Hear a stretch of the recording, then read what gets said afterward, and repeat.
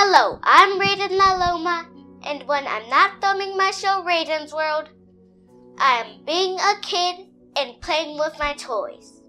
The sad part is that some kids don't have toys to play with. So together with LDM Network and others, we are collecting toys to give to kids in the community as well as some kids in foster care. So please, let's help them by giving unwrapped toys or donating to any of these payment methods shown on the side of me. So for each $5 donated, we can buy a toy for a kid. I feel the Christmas spirit. I hope you do as well. So I thank you and let's give smiles and memories to some kids this Christmas. So donate today.